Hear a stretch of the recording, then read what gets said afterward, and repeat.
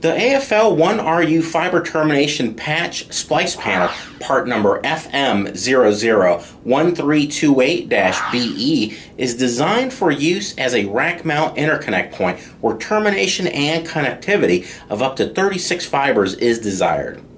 Based on a one rack unit height, can accommodate adapter plates, optical cassettes, passive optical modules, or any combination compatible with industry standard equipment frames.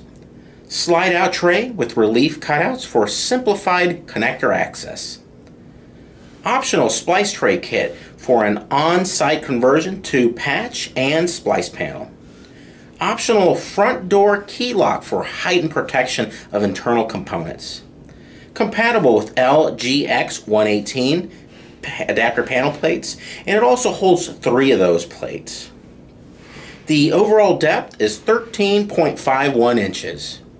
For more information, uh, PDF, maybe more, more specs on this uh, particular unit, and order online, visit discountlowvoltage.com.